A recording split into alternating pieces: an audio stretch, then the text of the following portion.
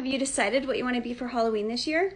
I really don't want to go to those Halloween stores last minute, so please let me know if I need to buy anything. Hmm. I'm gonna be a princess this year. Oh, perfect. We already have a ton of those costumes. Um, do you want to be Ariel or Belle?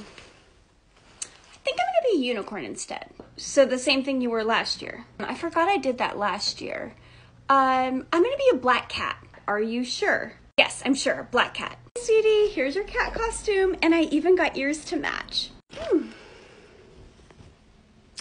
Um, no thanks. I want a new princess costume. of course.